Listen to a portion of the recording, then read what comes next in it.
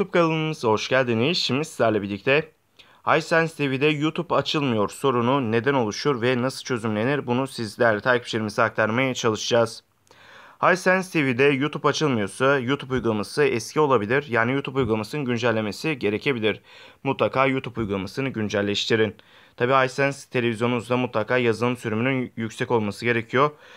iSense TV e, YouTube'u karşılayamıyor. Yazılım sürüm olarak YouTube açılmaz. Ee, YouTube'un e, silinip yüklenmesini deneyebilirsiniz. Saat tarih ayarlarına bir problem varsa bu da Wi-Fi bağlantısı ve akabinde YouTube'un açılmaması sonra neden olabilir. Mutlaka saat tarihi kontrol edin doğru mu değil mi diye. Bunları yaptığınızda internet bağlantısını da kapatıp açtığınızda iSense TV'de YouTube açılmıyor sorundan kurtulduğunuzu göreceksiniz. Videomuz bu kadardı. Umarım videomuzu beğenmişsinizdir. Videoyu beğendiyseniz aşağıdan beğen butonuna tıklamayı unutmayın. Kanalımıza abone değilseniz lütfen abone olun. Bir sonraki videomuzda görüşmek üzere. Hoşçakalın. Kendinize iyi bakın.